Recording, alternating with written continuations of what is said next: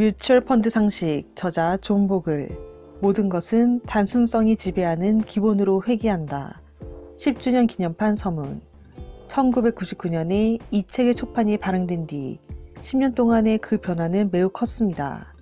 그 전 20년 동안의 미국 주식시장은 200년 역사 동안 가장 높은 수익률, 평균 연 17%를 경험했습니다.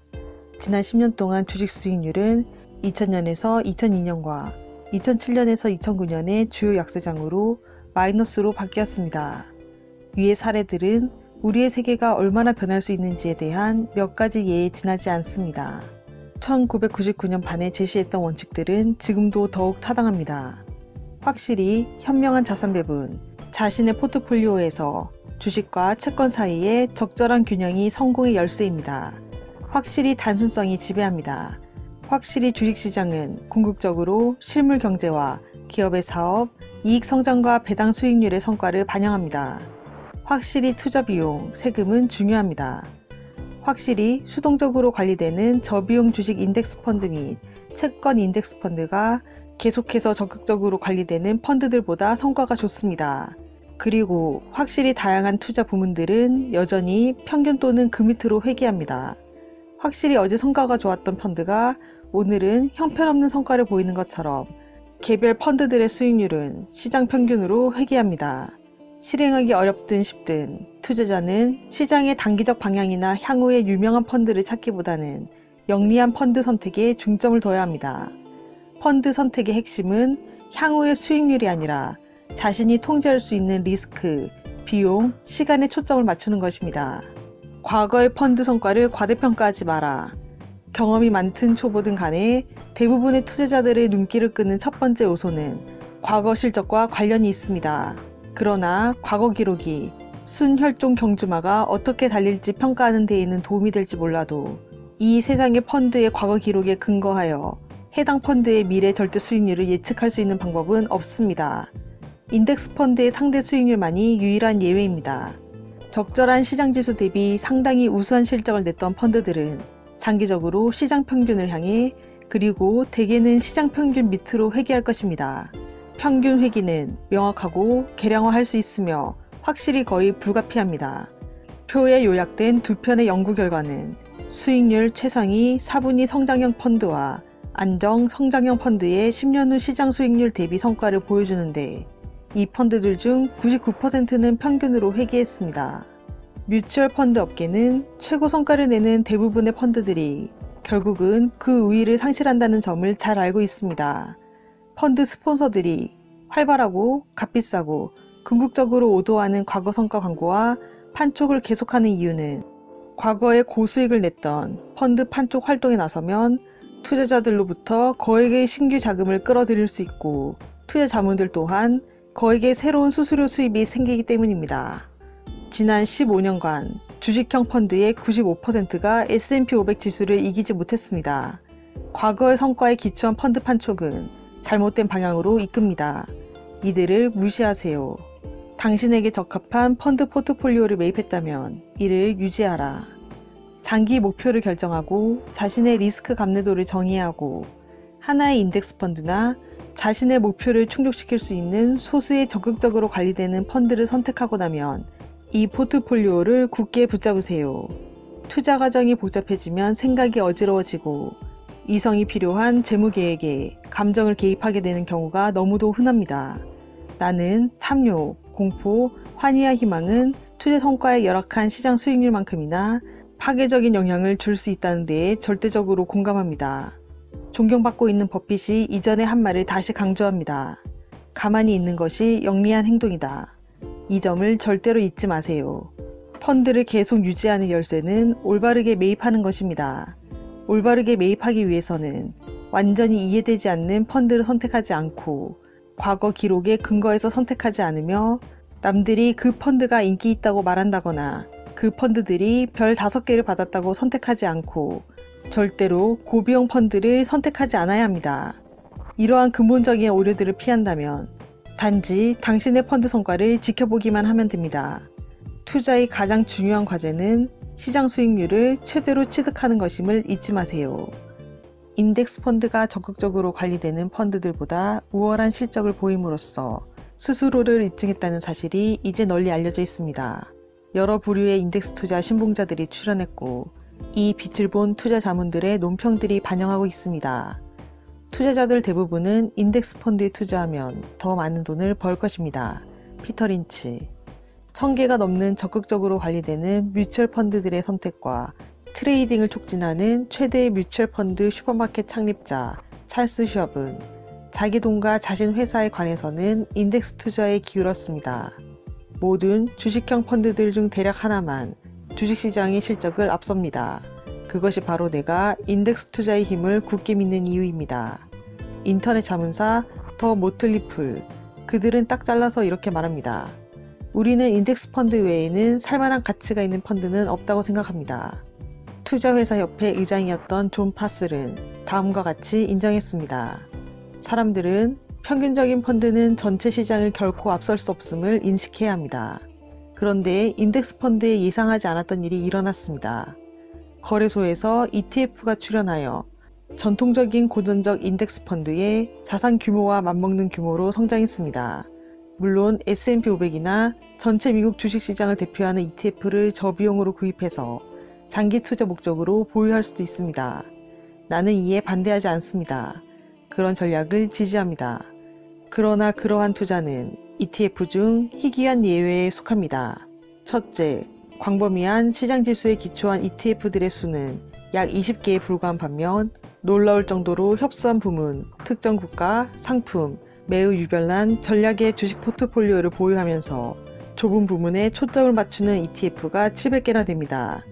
이처럼 알 수 없는 대상에 돈을 거는 카지노 게임과 같은 태도를 허용하거나 복권 번호 돌리기식의 ETF는 투자가 아니라 일종의 투기입니다. 둘째, ETF 영역에서는 매수 보유 전략을 구사하는 투자자들이 없다는 특징이 있습니다.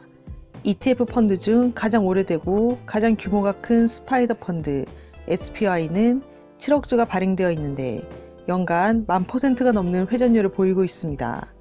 그래서 나는 ETF를 대의에 대한 트레이더라고 부릅니다. 셋째, 약간의 예외를 제외하면 ETF들은 전통적인 뮤추얼 펀드보다는 경비율이 훨씬 낮지만 고전적 인덱스 펀드에 비해 연간 경비율이 3배에서 4배에 달합니다. 그리고 실적으로 보면 ETF들은 이를 거래하는 사람들에게 좋지 않음이 명백합니다. 모닝스타 데이터에 의하면 과거 5년 동안 ETF 투자자들이 번 수익률은 그들이 돈을 건 부문의 수익률보다 연 4.2%포인트 낮았으며 자본의 20%에 이르는 누적 손실을 입었습니다. 역설적이게도 나는 1999년에 지수 선택에 대해 논의하면서 특화된 인덱스 창설의 문을 열어놓은 셈입니다. 단기 투기는 좋은 생각이 아닙니다. 광범위한 다각화는 협소한 집중보다 낫습니다. 그리고 저비용은 고비용보다 낫습니다. 대부분의 ETF들, 그리고 대부분의 ETF 투자자들은 이 원칙들의 상식적 지혜를 거부합니다. 매수자들이여 조심하세요. 미래 수익률 예측은 얼마나 중요한가요? 피터 번스타인과 로버트 아노슨, Journal of Portfolio Management의 최근 논문에서 강세장인지 약세장인지 당신이 정말로 신경을 써야 하는가 라고 의문을 제기했습니다. 그들은 다음과 같은 결론을 내렸습니다. 대부분의 장기 투자자들에게 있어서 강세장은 대부분의 투자자들이 생각하는 것만큼 이익이 되지 않으며 약세장도 대부분의 투자자들이 생각하는 것만큼 피해를 끼치지 않습니다. 강세장은 자산 가치를 높이지만 이에 비례하여 그 시점 이후로는 포트폴리오가 낼 수 있는 미래 실질 수익률의 감소를 가져오며 약세장은 이와 반대로 포트폴리오 가치는 감소시키지만 다른 조건이 동일하다면 이는 대체로 미래 수익률의 증가로 상쇄됩니다. 포트폴리오를 구축하는 초기 단계에는 약세장이 후기에는 강세장이 되면 이상적일 것입니다. 그러나 이러한 시기는 우리가 통제할 수 없습니다. 그러니 지성과 상식을 가지고 투자하세요.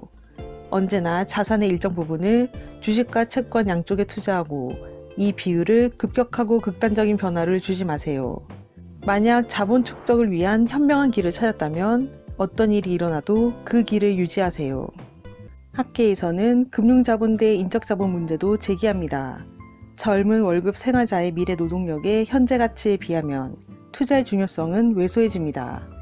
말하자면 내가 나의 포트폴리오에서 가장 큰 자산입니다. 미래에 축적될 금융 자본에 집중하는 것보다는 커다란 인적 자본 잠재력을 극대화시키는 방식으로 생활을 꾸려나가는 것이 낫지 않을까요? 인적 자본의 가치와 주식 시장의 가치는 모두 미국 경제의 성장에 크게 영향을 받기 때문에 서로 상관관계가 높습니다. 존 보글 가치 투자의 원칙 왜 인덱스 펀드인가 저자 존 보글 투자자를 위해 가장 많은 일을 한 사람을 기리는 조각상이 세워진다면 그 주인공은 존 보글이어야 한다. 워런 버핏 영원한 것은 없다. 평균 회귀의 필연성을 일깨워주는 사례 CGM 포커스 펀드는 전형적인 평균 회귀 법칙을 활용한 단기 펀드입니다. 이곳의 자산은 설립 초기부터 2007년까지 1억 달러에서 60억 달러로 불어났지만 2012년에는 17억 달러로 급감한 사례입니다. 1998년부터 2007년의 펀드 수익률은 917%로 대단한 수준이었습니다. 그러다 좋은 시절은 끝났습니다. 2007년부터 2011년까지의 펀드 수익률은 마이너스 51%였지요. 같은 기간 동안 S&P 500의 수익률은 마이너스 6%였습니다. CGM 펀드는 1998년부터 10년 동안은 미국에서 가장 실적이 좋은 펀드였습니다. 그러나 주주들은 연평균 11%의 손실을 입었습니다. 2009년 12월 31일자 월스트리트 저널 피델리티의 마젤란 펀드는 전형적인 평균 회계 법칙을 활용한 장기 펀드입니다. 1964년부터 사내 펀드로서 연평균 22%의 수익률을 기록하다가 1980년 일반인들에게 판매되기 시작했습니다. 1990년까지는 주식 선정의 규제인 피터 린치가 운용하여 누적 수익률 588%를 기록했습니다. 당시 S&P 500은 268%를 기록했습니다. 그러나 1990년부터 2011년까지의 수익률은 S&P 500의 수익률 487%에 못 미치는 368%였습니다. 2012년에는 자산이 최전성기 시절의 1,050억 달러에서 85%나 급감한 150억 달러에 그쳤습니다. 1983년부터 19년에 걸쳐 펀드의 연평균 수익률은 9.7%로 10.2%인 S&P보다 뒤처졌습니다. T 로우 프라이스 성장주 펀드는 대표적인 성장주 펀드이며 역량이 강한 운용사가 운용했지만 역시 평균 회귀 법칙의 참화를 피해갈 수는 없었습니다. 1950년에 투자계의 전설인 로우 프라이스가 설립한 해당 펀드는 1971년까지 1648%의 누적 수익률을 기록하면서 S&P 500을 600%포인트 넘게 앞섰습니다. 그러다 평균 회기 추세가 시작되었습니다. 1971년부터 1998년 동안 172%의 수익률을 내는데 이는 470%를 낸 S&P 500에 크게 뒤처지는 실적이었습니다. 주가는 결국 내재 가치를 따라간다. 이 원칙에는 미래에도 좋은 성과를 거두리라 믿고 과거에 성공을 거둔 펀드를 선택하면 실패할 위험이 커진다는 사실이 함축되어 있습니다. 이 간단한 그래프만 보더라도 주가가 1954년부터 1973년과 1977년부터 1999년과 같은 대상승장에서 얼마나 가파르게 상승했으며 1990년대 후반에 얼마만큼 추락했는지를 명확히 알 수 있습니다. 이 같은 경향성이 앞으로 수십 년 동안에도 되풀이 될지는 시간이 지나 보아야 알겠지만 나는 과거에 여러 차례 반복된 역사의 교훈이 앞으로도 우세하리라 확신합니다. 광범위한 주식형 인덱스 펀드를 통해 주식시장 전체를 소유하면서 자신의 포트폴리오에 토탈마켓 채권형 인덱스 펀드를 적정 비중으로 담아 균형 있게 구성하는 것이 최적의 투자 전략입니다. 이것이 최상의 전략이 아닐지 몰라도 이보다 나쁜 전략은 수도 없이 많습니다. 비용과 세금 면에서 효율적이고 시장 수익률에서 공정한 몫을 보장해주는 인덱스 펀드를 소유하는 것 자체가 성공 전략입니다. 오랫동안 이 분야에 종사하면서 나는 전통적이고 신중한 장기 투자가 공격적인 신흥 단기 투자에 밀려나는 상황을 현장에서 지켜보았습니다. 과학기술이 투자를 비롯한 인간의 모든 활동에 생산적으로 적용될 수 있다는 믿음이 생겨났습니다. 그러나 투자는 과학이 아닙니다. 투자에는 우리 인간의 합리적인 행동뿐만 아니라 감정적인 행동도 개입됩니다. 금융시장은 너무도 복잡해서 과학실험처럼 단일 변수를 손쉽게 분리하기 힘듭니다. 금융시장의 기록을 보면 주가의 단기 변동 예측이 늘 정확하게 이루어진다는 증거를 찾을 수 없습니다. 현명한 투자자는 합리성에 대한 신뢰를 바탕으로 희망, 두려움, 탐욕 같은 감정을 차단하려 노력하고 결국에는 지성이 승리하리라는 기대를 품습니다. 이런 점에서 장기 투자자는 기술자가 아니라 철학자가 되어야 합니다. 끝까지 버티는 전략이 마켓 타이밍이나 한 종목에서 다른 종목으로 옮겨 다니는 전략보다 당연히 훨씬 더 생산적이라는 사실이 갈수록 명확해지는데도 금융 소비자와 주주는 금융회사가 제공하는 최첨단 정보통신 기술 덕분에 투자 자산의 빈번하고 급격한 변동에 쉽게 흔들립니다.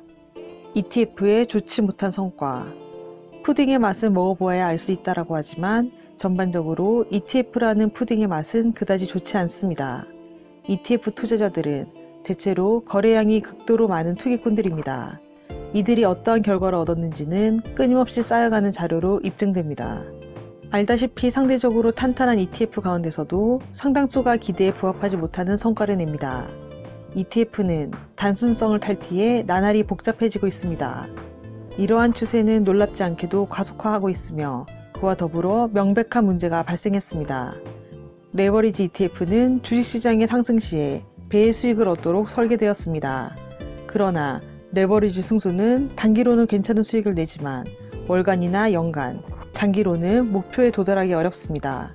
한 예로 SSO는 S&P 500 지수 2배의 실적을 추구합니다. 그러나 지난 5년 동안 S&P 500 지수는 10.5%의 수익률을 기록했지만 SSO는 마이너스 25%의 수익률을 기록했습니다. ETF 투자자는 신통치 못한 수익률을 얻을 것입니다. 범위가 좁은 부분일수록 변동성이 높아지기 때문입니다. 위 자료에서 입증된 바에 따르면 혁신적이고 대체로 변동성이 큰 주식형 펀드가 창출되면 수익률이 큰 타격을 입습니다. 펀드 수익률의 변동성이 클수록 투자자의 수익률은 펀드의 실제 수익률에 미치지 못하게 됩니다. 자료에서 보듯이 변동성 하위 5분위 펀드의 경우 펀드사가 보고한 수익률과 투자자의 수익률의 차이는 0.8%였습니다. 그러나 변동성 상위 5분위의 경우 그 차이는 3.0%로 커졌습니다. 투자자들이 15년 동안에 입은 누적 손실은 펀드를 매수하고 그대로 보유했다면 얻을 수 있었던 잠재 수익의 82%에 달했습니다. 그냥 다트를 던져서 결정하라. 월스트리트 저널 2012년 1월 3일자에 실린 ETF 현황에서 ETF의 선택지가 1,400개를 넘어설 정도로 놀랄 만큼 다양하다는 사실을 감안하면 ETF의 유혹에 넘어간 투자자와 투기꾼이 할 수 있는 일은 그저 다트를 던져서 결정하듯 무작위로 골라내는 것 뿐입니다. 매수 후 보유 전략을 선택했다면 더더욱 단순하고 표준적인 ETF를 고수해야 합니다. 유혹을 이겨낼 자신이 없는 투자자라면 장기 투자의 기본 패러다임인 지수 추종에 집중하는 편이 훨씬 더 유리합니다. 우직한 고슴도치가 교활한 여우를 이긴다. 고대 그리스 시인 아르킬로코스는 여우는 사소한 것을 많이 알고 있지만 고슴도치는 중요한 사실 한 가지를 알고 있다라고 말했습니다. 여우로 상징된 금융회사는 복잡한 시장과 정교한 전략에 대해 다양한 정보를 지닌 혹은 그렇다고 믿는 투자 전문가로 구성됩니다. 고슴도치는 장기 투자의 성공이 단순한 방법을 토대로 한다라는 중요한 사실 한 가지만 알고 있는 금융회사를 말합니다. 금융계의 교활한 여우는 순전히 자신의 정교한 지식과 전문성 덕분에 투자자가 살아남을 수 있다는 주장을 선전하고 다니면서 자신의 존재를 정당화합니다. 유감스럽게도 이들의 도움은 싼 값에 제공되지 않습니다. 결과적으로 투자자가 적극적으로 운용되는 뮤추얼 펀드를 비롯한 브로커를 통해 얻는 연평균 수익률은 연간 수익률의 80%에도 미치지 못합니다. 반면에 고슴도치는 특정 투자 전략이 성공하는 이유가 복잡하거나 교묘해서가 아니라 단순하고 비용이 덜 들기 때문이라는 사실을 압니다. 고슴도치는 광범위하게 분산 투자하고 매수 후 보유하며 비용을 최소한으로 유지합니다. 포트폴리오 회전율이 매우 낮은 토탈마켓 인덱스 펀드로서 투자자에게 사실상 시장과 거의 동일한 수익률을 보장합니다. 투자 운용의 세계에서 여우는 나타났다가도 사라지지만 고슴도치는 영원히 남습니다.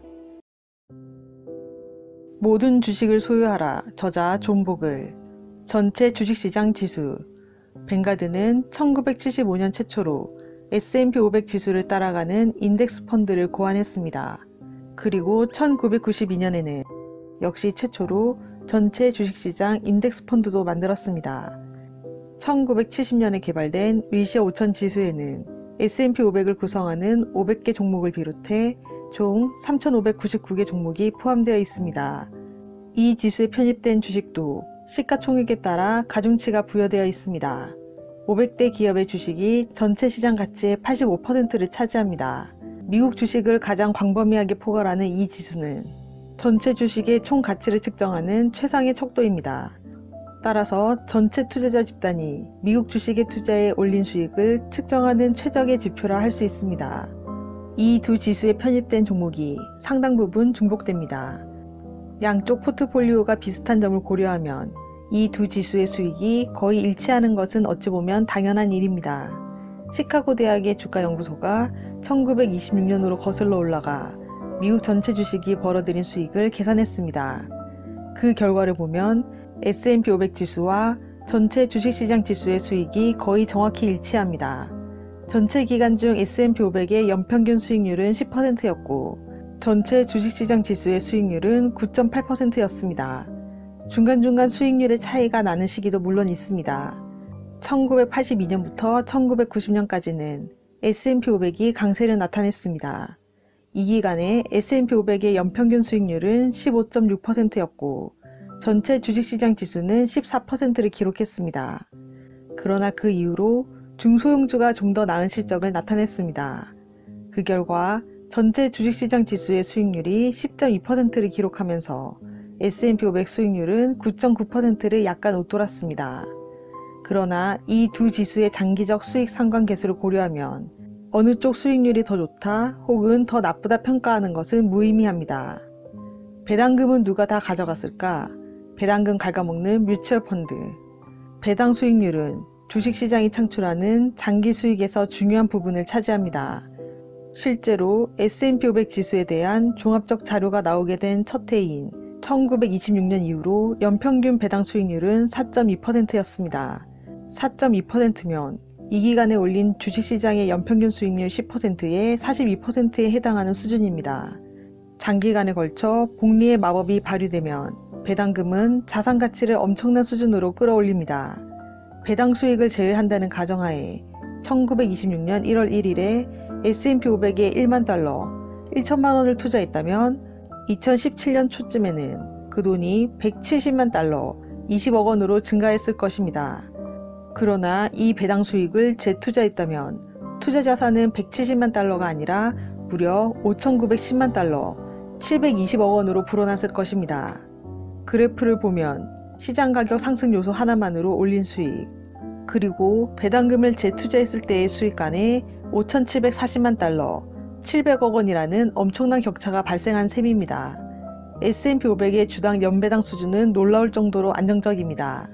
1926년 이후 90년 동안 배당 수익이 큰 폭으로 줄어들었던 적은 1926년에서 1933년 대공황이 시작된 첫 해의 55% 하락, 대공황의 여파로 1938년에 36% 하락, 2008년에서 2009년 세계 금융위기 때 21% 하락 등 단 세 차례뿐이었습니다.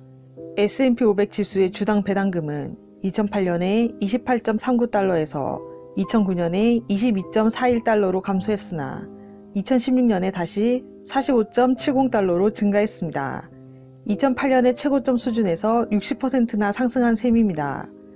장기간에 걸친 배당금 재투자의 복리 효과, 그리고 배당금 지급의 상대적 안정성을 고려할 때 액티브 펀드는 당연히 배당 소득을 최우선 순위에 둬야 합니다. 그런데 정말 그렇게 하고 있을까요? 아닙니다. 뮤추얼 펀드 관리 계약을 체결할 때 펀드의 순 자산을 기준으로 보수를 청구하기 때문이지요. 이처럼 배당금의 장기적 수익 효과가 엄청난데도 거의 모든 투자자가 배당 수익이 이렇게 강탈된다는 사실을 잘 모르는 것 같습니다.